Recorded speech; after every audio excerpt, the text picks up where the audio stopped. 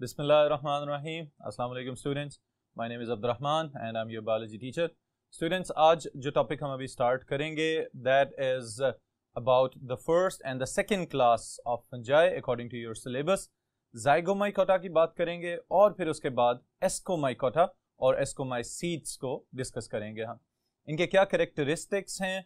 किस किस्म की रिप्रोडक्शन इनके अंदर होती है? सेक्शुअल और ए स्ट्रक्चर्स के मतलब डिटेल से देखेंगे। और इंपॉर्टेंट बात यह है कि जाइगोमाइसीड्स शॉर्ट क्वेश्चन के लिए और एस्कोमाइसीड्स लॉन्ग क्वेश्चन के लिए अहम है बोर्ड के पॉइंट ऑफ़ व्यू से। तो डिटेल्स बोर्ड पे देखते हैं।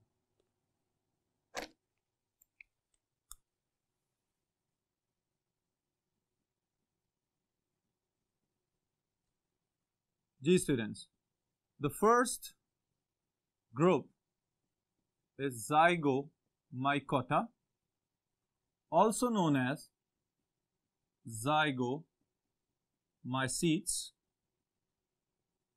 और एक और नाम भी यहाँ पे that is conjugating fungi okay अब स्टूडेंट्स यहाँ पे सबसे पहले तो मैं ये बताना चाहूँगा कि फंजाई की ये वो क्लास है, वो ग्रुप है कि जिससे सबसे पहले हम इंटरेक्ट करना शुरू करते हैं। वो किस तरह से? कि खाने से आगाज़ किया जाएगा इसका। ऑलराइट कोई भी फ़ूड पार्टिकल स्पेशली ब्रेड या रोटी या कोई और इस किस्म का स्टफ़ जिसके ऊपर फंगस ग्रो करती हुई नज़र आए, और नॉर्मली वो आपको एक फजी सा स्ट्रक्चर वाइट कलर के थ्रेड्स नज़र आते हैं फोम की तरह के उसके ऊपर ग्रो करते हुए, ये वाला जो स्ट्रक्चर बनेगा ये राइजोपस का नॉर्मली देखने में आता है, जो हमारे इर्द गिर्द है। तो इस बुनियाद पे मैंने ये कहा है कि ये वो ग्रुप है जिसके मेंबर्स के साथ हम सबसे पहले इंटरेक्ट करना स्टार्ट करते हैं, अगर खुदा न खास्ता कोई और इन्फेक्शन वगैरह ना हो तो। ऑलराइट तो इस लिहाज से हम इसको देखते हैं सबसे पहले कि why it is known as zygomycetes तो इसका जवाब बहुत आसान। The answer is because this group of fungi produce special sexual spores called zygospores. All right. इनके अंदर जो सेक्सुअल स्पोर्स बनते हुए नज़र आते हैं चूँकि वो जाइगोस्पोर्स हैं तो इस वजह से इसका नाम रख दिया गया जाइगोमाइसीट्स और जाइगोमाइकोटा अब स्टूडेंट्स इसके जो फीचर्स हैं, उनको हम स्टेप बाय स्टेप देखते हैं। तो पहली बात यहाँ पे हमें पता चलती है कि बाकी सब फंजाई की तरह they are also living in moist habitat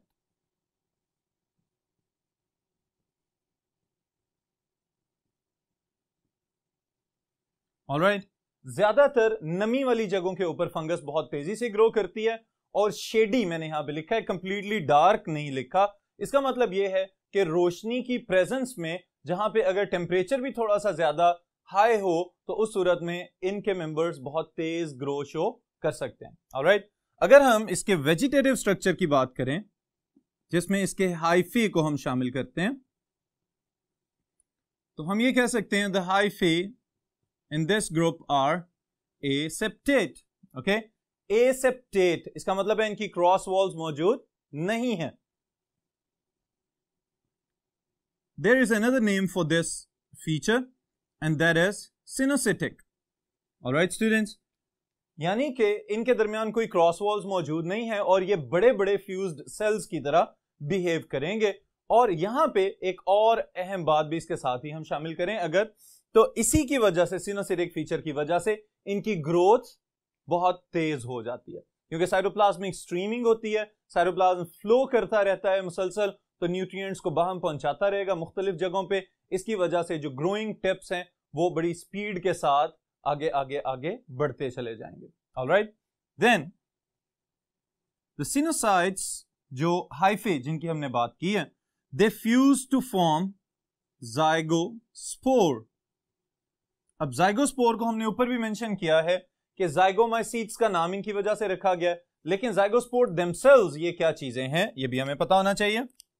They are temporary dormant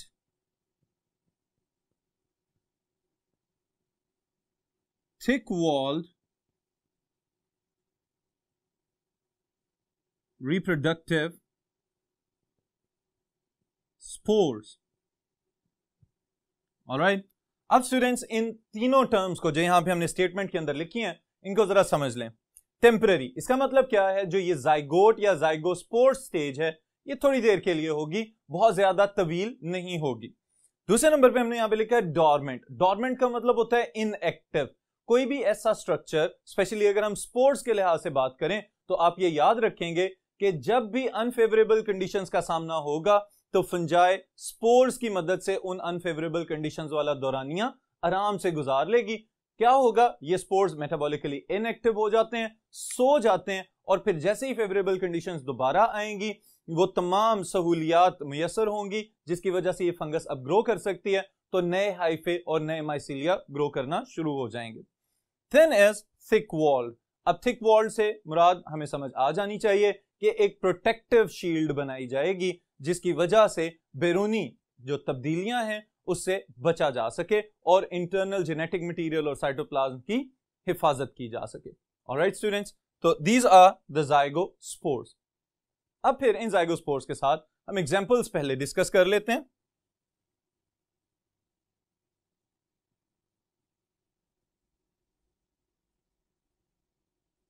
examples में स्टूडेंट्स मैं ये दो एग्जाम्पल्स ले रहा हूँ जो कि आपकी बुक में ऑलरेडी मेंशन है। One is Rhizopus and other one is Pilobolus alright ये दो एग्जाम्पल्स हैं हमारे पास। Rhizopus the black bread mould and Pilobolus also known as the spitting fungus okay अब यहाँ तक तो ये हो गई बेसिक फीचर्स की या प्रॉपर्टीज़ की बात। अब अगर हम लाइफ साइकिल की बात करते हैं कि how the zygospores they help the fungus they help the Rhizopus to complete their life cycles तो इसको हम देख लेते हैं अभी नेक्स्ट बोर्ड पे।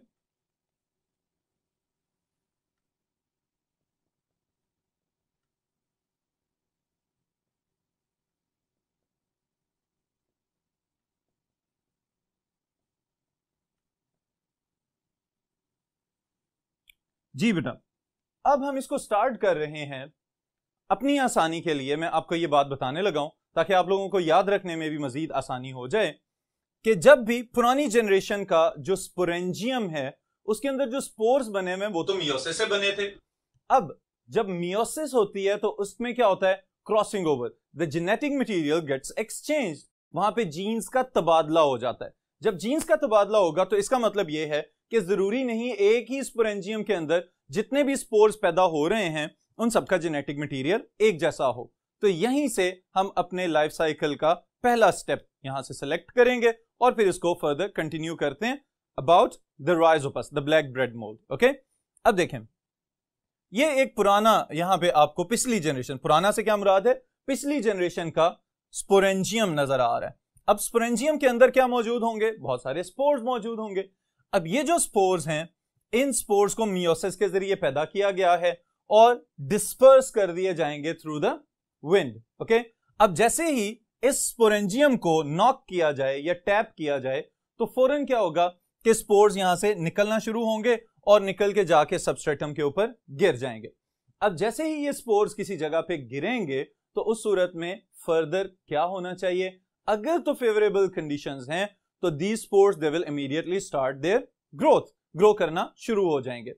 अब स्टूडेंट्स अहम बात यहाँ पे कि जब ये स्पोर्स ग्रो करते हैं तो इसका मतलब ये होता है कि due to their different genetic materials different genetic makeups they will form different generations अब ये डिफरेंट जनरेशंस जेनेटिकली तो डिफरेंट हैं बट रिप्रोडक्शन के लिए कंपेटेबल हैं। इसका क्या मतलब है कि आपस में रिप्रोड्यूस करके अगली नस्ल पैदा करने की सलाहियत रखते हैं तो ये इनकी कंपेटेबिलिटी है, क्योंकि जीनस और स्पीशीज वगैरह तो इनकी सेम है। Alright right?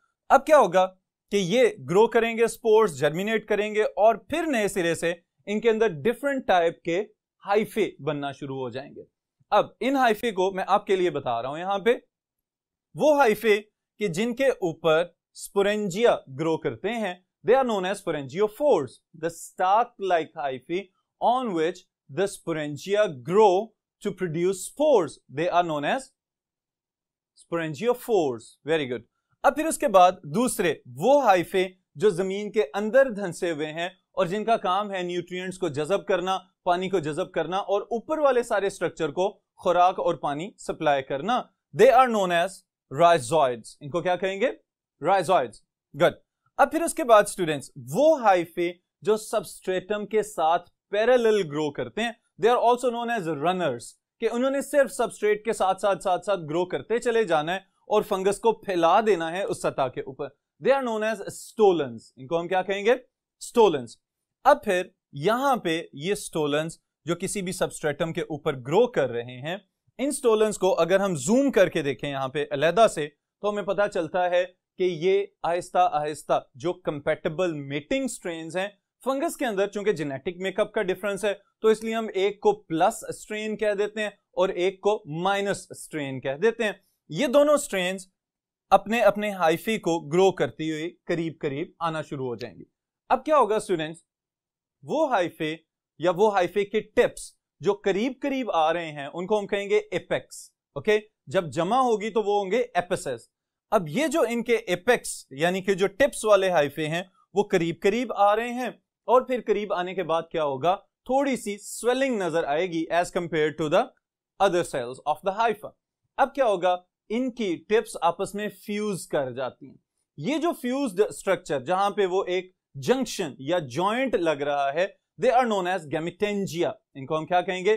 Gametangia because of gamete producing structures okay इनके अंदर जो न्यूक्लियाई मौजूद हैं they are haploid nuclei because most of the fungi they contain haploid nuclei in them तो फिर अब क्या होगा कि जैसे ही इनका ये जंक्शन या जॉइंट बना है तो हम कहेंगे दीज आर गेमिटेंजिया अब इस टर्म को भी समझ लें students sporangia, spore producing structures, gametangia gamete producing structures alright अब फिर क्या होगा कि ये गैमिटेंजिया फोरन प्लाज्मोगेमी की तरफ़ चले जाएँगे.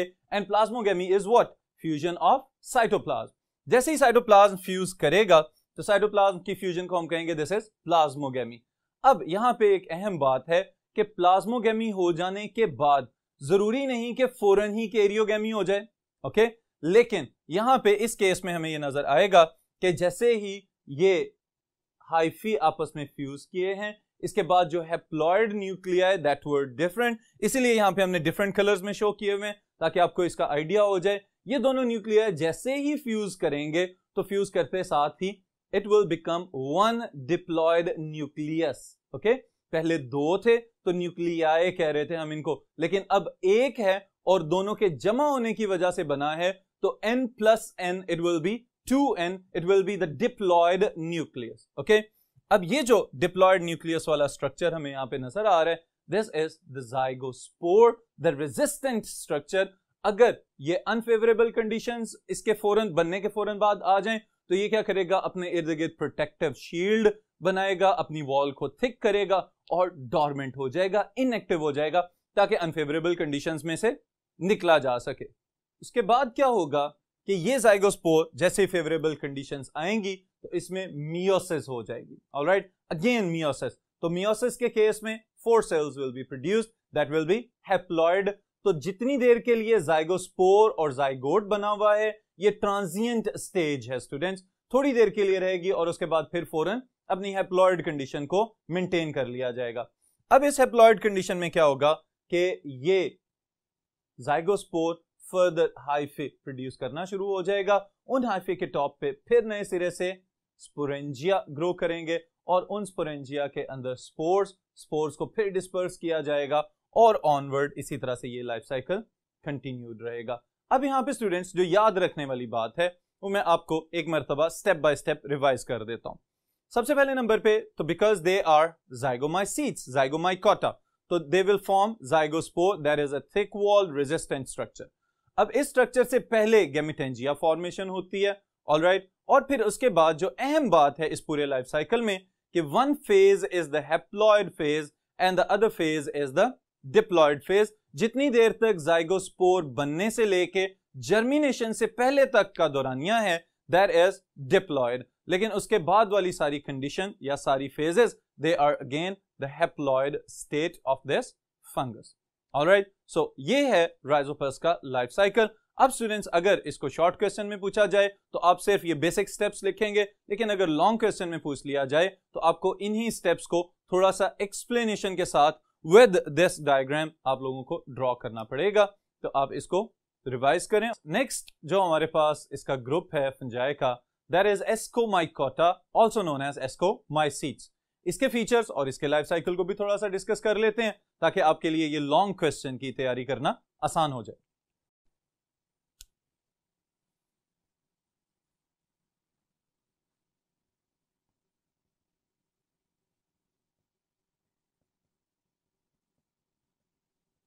Escomycota, also known as Escomycetes,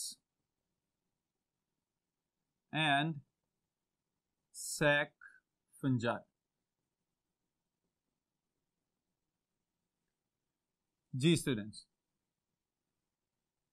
अब अगर हम इसको डिटेल से डिस्कस करें तो सबसे पहले नंबर पे जो बात हमारे पास आती है वो ये है कि ascomycetes is the group of fungi that contains the maximum species okay आपकी बुक के अकॉर्डिंग में वही वाला फिगर यहाँ पे लिखने लगा हूँ. This is sixty thousand species all right और इसमें से भी fifty percent of them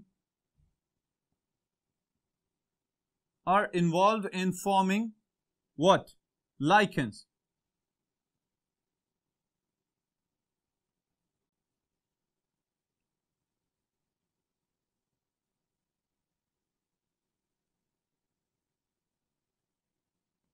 और लाइकेंस क्या होते हैं?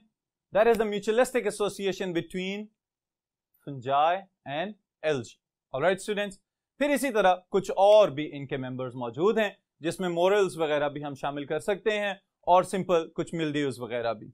बट यहाँ पे जो हम इंपॉर्टेंट फीचर्स इसके डिस्कस करेंगे, वो हम जनरली जो most of the members of this class हैं, उन सब के सब मेंबर्स के अंदर जो कॉमन फीचर्स पाए जाते हैं, उनकी हम बात करने लगे तो यहाँ पे मैं ऐड कर रहा हूँ habitat.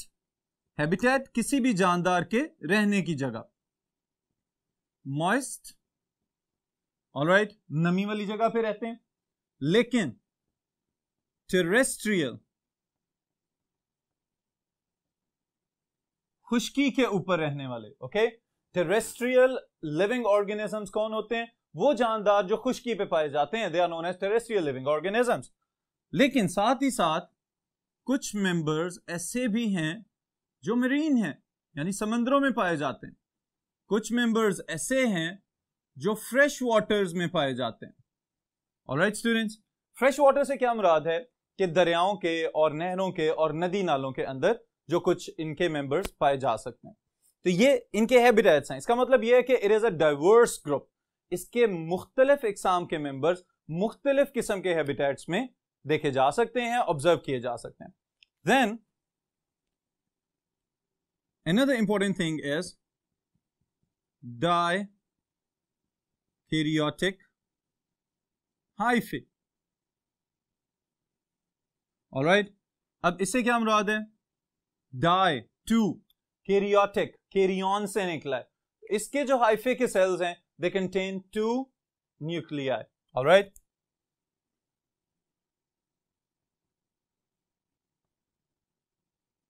cells of the hyphae contain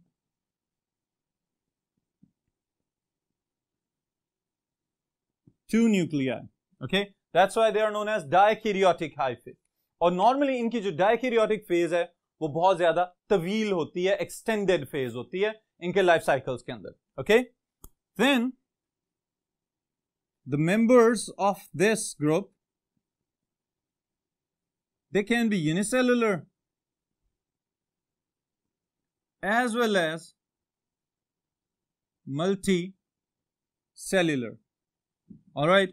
अब इससे क्या मुराद है स्टूडेंट्स देखें यीस्ट खमीर हमारे इर्द गिर्द पाया जाता है बहुत सारी हमारी कमर्शियल इंडस्ट्री में इस्तेमाल हो रहा है वो यूनिसेलुलर मेंबर्स पे मुश्तमिल है जबकि दूसरी तरफ़ जो मल्टी सेलुलर मेंबर्स हैं इनके, बिल्कुल इसी तरह से, जैसे मैंने आपको in the beginning of this chapter ये बात बताई थी कि मोरल्स वगैरह इस तरह के मशरूम लाइक स्ट्रक्चर्स हैं कि जिनको पका के खाया भी जा सकता है। तो वो multicellular vegetative fruiting bodies मौजूद होती हैं इनकी, जो कि बहुत सारे क्लस्टर ऑफ़ ऑर्गेनाइज सेल्स पे मुश्तमिल हैं। इसका मतलब ये है कि इनके अंदर wide range of vegetative structures पाया जा सकता है। यूनिसेलुलर मेंबर्स भी हैं सिंपल मल्टीसेलुलर भी होंगे और फिर कम्प्लेक्स मल्टीसेलुलर फ्रूटिंग बॉडीज भी इनमें मौजूद हो सकती हैं। अब सवाल ये पैदा होता है why they are known as ascomycetes तो यहीं से हम इसके रिप्रोडक्टिव स्ट्रक्चर्स की भी बात करते हैं और फिर लाइफ साइकिल को भी डिस्कस करते हैं। Ascomycetes has been given this name due to their asci. अब asci क्या चीज़ है? They are sac-like reproductive structures. Alright? इनके अंदर जो स्पोर्स पाए जाते हैं they will be known as ascospores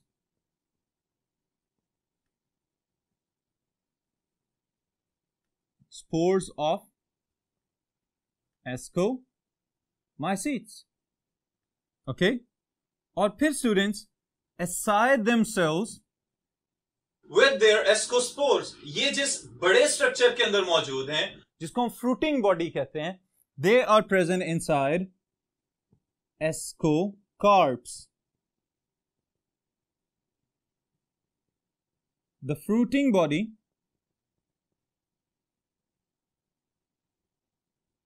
that contains asci with their asco spores alright ये तो हमने इनके बेसिक फीचर्स लिख लिए हैं कि इस ग्रुप का नाम एस्कोमाइसीट्स क्यों रखा गया है? लेकिन अब यहाँ पे सिर्फ़ इतना कह देना ही काफ़ी नहीं है। एस्कोस्पोर्स किस तरह से बनते हैं और फ्रूटिंग बॉडीज वगैरह का क्या रोल है इनके डिस्पर्सल में? तो इसके लिए स्टूडेंट्स हम एक एग्ज़ाम्पल ले रहे हैं। कप फंजाए की जो कि इन्हीं का एक मेंबर है और उसका, चूँकि उसकी अपेयरेंस उसका जो कैप है, उसका जो स्ट्रक्चर हमें नज़र आता है that is just like the cup तो इस वजह से इसका नाम ही कप फंजाए रख दिया गया है। इसको हम अभी समझ लेते हैं और मैं आपको यहाँ पे कुछ नई बातें भी बताऊँगा तो इसलिए इनको नोट ज़रूर कर लीजिएगा।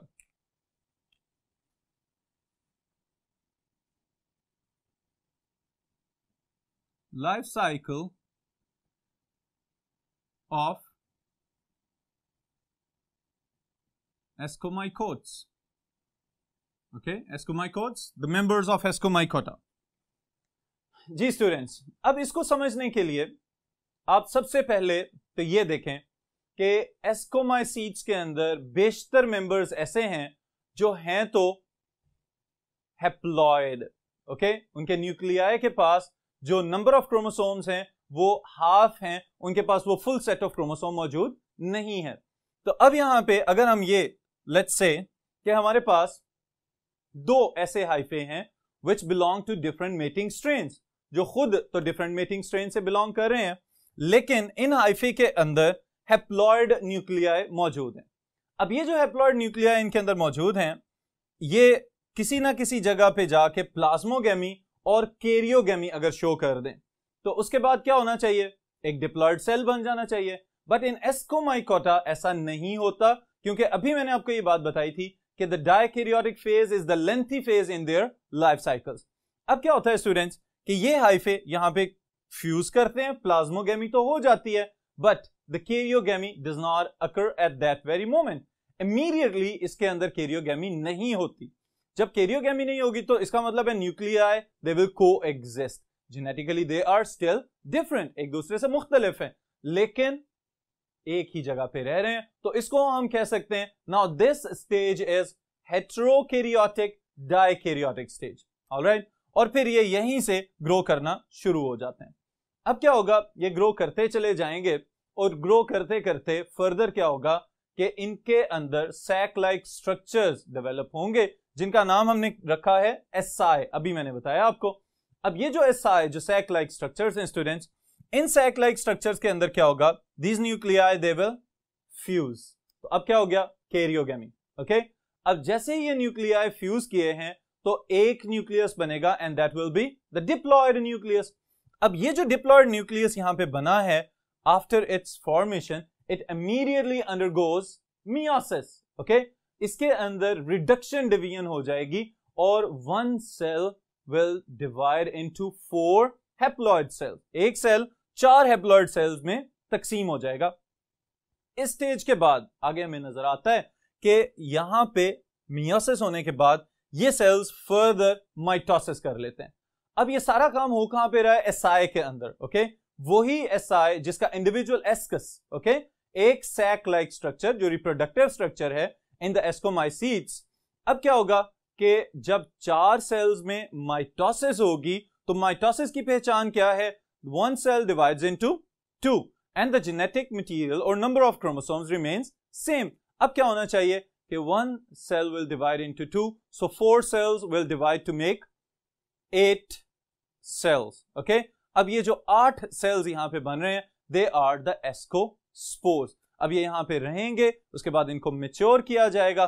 फिर जैसे फेवरेबल कंडीशंस आएँगी तो फौरी तौर पे इनके एसआई रप्चर हो जाते हैं। और रप्चर होने के बाद these ascospores they are release अब ये एस्कोस्पोर्स जहाँ जहाँ पे गिरेंगे, वहाँ से फिर नए सिरे से फंगस की ग्रोथ शुरू हो जाएगी।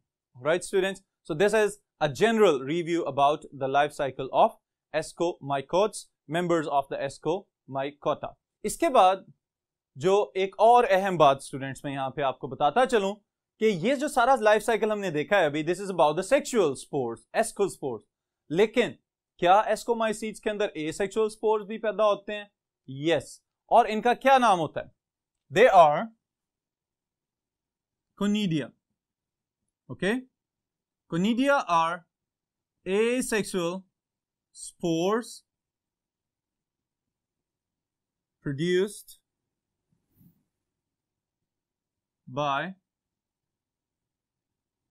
members of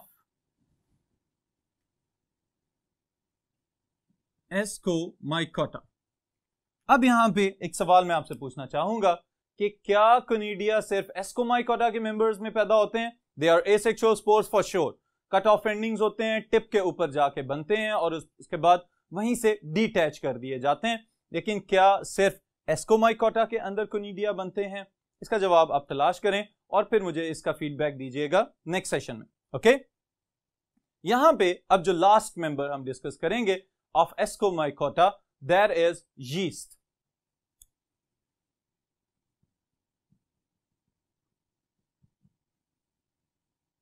yeast is unicellular fungus, जिसमें से सबसे ज़्यादा जो हम लोग स्टडी करते हैं या अपने इर्द गिर्द कमर्शियल इंपॉर्टेंस के लिहाज से जिसको जानते हैं that is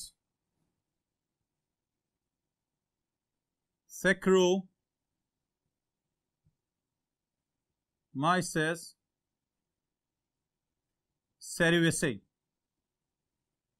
right students this is the edible yeast okay वो खमीर जो हम अपने नॉर्मल रोज़मर्रा, बहुत सारे जो बेकिंग प्रोडक्ट्स वगैरह हैं, उनमें इस्तेमाल करते हैं। देर इज़ सेक्रोमाइसिस सेरिवेसी अब इसकी अहमियत सबसे पहले नंबर पे क्या है स्टूडेंट्स कि this is a unicellular fungus इसके अंदर जो माइटोटिक अपरेटस फॉर्मेशन है, वो एसिमेट्रिकल होती है, जिसकी वजह से इसके ऊपर जो आउटग्रोथ्स बनती हैं, वो हमेशा एसिमेट्रिकल होती हैं।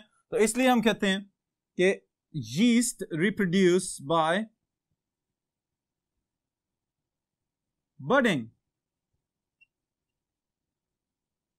alright outgrowths बनती हैं इसके ऊपर, और वो आउटग्रोथ्स एसिमेट्रिकल होंगी। किसी भी साइड से आउटग्रोथ बन सकती है, और फिर उसके बाद क्या होगा? जो क्रोमोसोम्स की तादाद है, वो इक्वली डिवाइड कर दी जाती है। जो बर्ड है it will detach and further grow into new yeast और समटाइम्स ऐसा भी होता है कि वो बर्ड्स इसके ऊपर अटैच्ड ही रह जाएँ और उस सूरत में ये एक बड़ी कॉलोनी बना दें। But the cells most of the cells they will stay independent from one another okay फिर उसके बाद स्टूडेंट्स जो एक और अहम बात है, वो है fermenting ability of the yeast हम कह सकते हैं कि अगर यीस्ट से फर्मेंटेशन करवाई जाए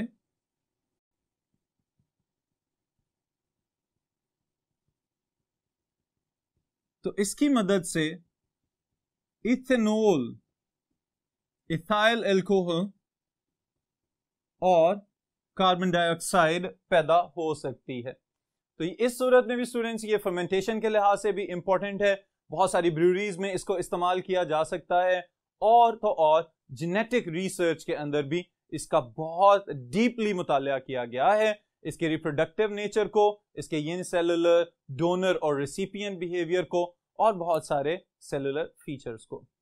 So this is all about today's session फिर इसके बाद इंशाल्लाह ताला जो नेक्स्ट ग्रुप्स हैं स्टूडेंट्स उनकी डिटेल हम डिस्कस करेंगे नेक्स्ट सेशन में।